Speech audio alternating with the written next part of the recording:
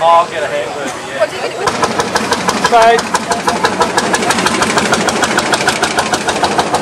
there's some that Here's my snack.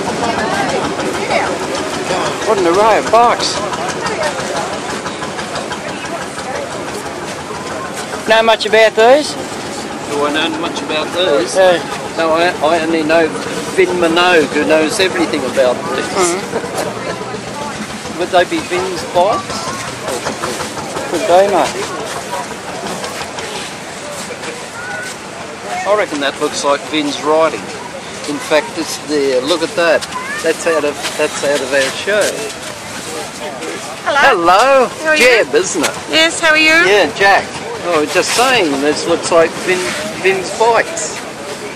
Sort of mine.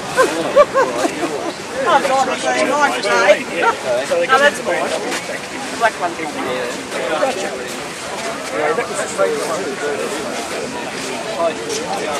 Right, mate. What would you like to know? Bike was destroyed about, 12 years ago? uh, a bit more than that, about 15 now. Hmm. 12, 96? I'm not sure. What was burnt? 96? 96. Yep, Burnt. completely. That one, this one. Green one wasn't destroyed. Gee whiz. In early, I think it was about 2000 we started this, 2001. Yep. Took us two and a half years to restore it. And that one's its first outing with a sidecar. So these are Vin's, are they? Vin's? Yep. Oh, no, this is mine. This is yours. 800cc, four That's dead. cylinder, 1937. You've done a good job on it, that's for sure. Oh, it's been, it's done quite a few miles since it's been Done on. a lot got of a lot of miles. nicks and that in it now. Hello. Yeah. Good, thank you.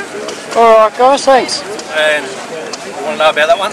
Yep, come on. That's a KS 750. It was used in the Afrika Korps for the German Army. Carry it probably up to five five blokes. One on the front forks, a couple in the side car. Supposed to be another seat on the back there, seat there. Has a machine gun and M34 Mauser on the front, which we can't get. So the machine gun's mounted on the front of the sidecar There's there. gun turret there, yeah. Where the yeah the red part is. Yeah. It has uh, high and low range, four speed, and it has reverse gear. Alright mate, thanks. No worries.